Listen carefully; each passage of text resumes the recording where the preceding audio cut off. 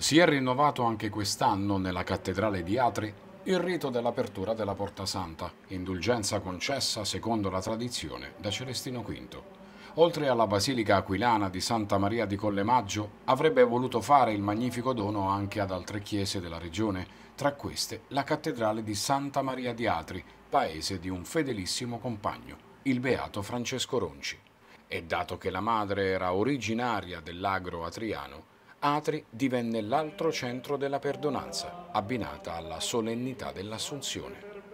Credo che è desiderio di tutti di scoprire la presenza del Signore. Viviamo in una società contemporanea dove apparentemente può sembrare che c'è distrazione rispetto all'esperienza cristiana. In realtà non è così perché vedo che anche ieri sera a Giulianova c'era tantissima gente, c'è questo desiderio di fare un passo in avanti, cioè di vivere l'esperienza della fede come incontro personale con il Signore e sperimentare la sua presenza in mezzo a noi. La Porta Santa è un segno di questa presenza che avvenne nel giorno della, nella vigilia dell'Assunzione ancora un segno più grande perché Maria ci ricorda che l'arca dell'alleanza è nel Tempio. Dunque quando entriamo in cattedrale, quando attraversiamo la Porta Santa, noi entriamo in un luogo che ci ricorda che il Signore Gesù è davvero presente, possiamo ascoltare la sua parola e soprattutto possiamo partecipare alla celebrazione eucaristica che è il momento più alto della comunione reale e concreta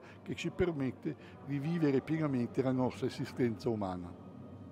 Dopo il rito del martelletto, la porta si è aperta e oltre ai tanti fedeli, anche le autorità civili e militari, con il governatore Marco Marsiglio insieme a tanti sindaci del territorio, hanno varcato la porta della magnifica cattedrale.